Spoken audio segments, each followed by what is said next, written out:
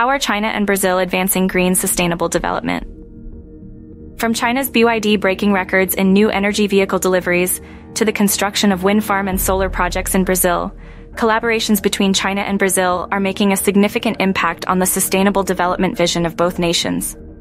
Marking the 50th anniversary of the establishment of diplomatic relations between China and Brazil, company representatives and government officials from both countries convened in Shenzhen on January 10th to explore new opportunities to work together.